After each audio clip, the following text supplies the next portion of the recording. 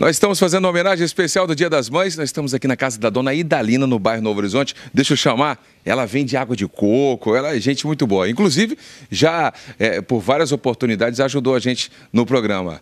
Dona Idalina! Alô, dona Idalina! Ô, oh, de casa! Uh, como é que vai a senhora, dona Idalina? Tudo bem. Chega pra cá, porque a gente vai fazer uma homenagem para a senhora Dia das Mães. Nós temos aqui uma lembrancinha para a Muito senhora. obrigada, eu te agradeço. Deus que de abençoe a coração. senhora.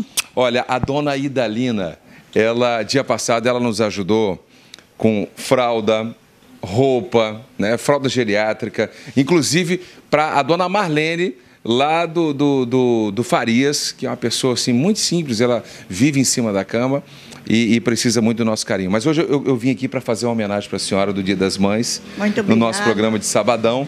Amanhã é o Dia das Mães e a gente quer fazer uma homenagem para a senhora. Então, eu Muito gostaria. obrigada, eu agradeço mesmo de coração. Falando de mãe, só tem quantos filhos? Eu só tenho esse. Só um garoto? Só um, só Como é que é o nome dele? Emerson. É o Emerson. O Emerson tá lá para dentro. Tá lá pra dentro. Olha, eu, eu quero assim dizer para a senhora que é um prazer muito bom estar aqui na casa da senhora. Que Deus te abençoe, dando muita vida, paz e saúde. Para quem que a senhora quer mandar alô? Pode mandar alô, vamos lá. Dia das Mães pode, vamos lá.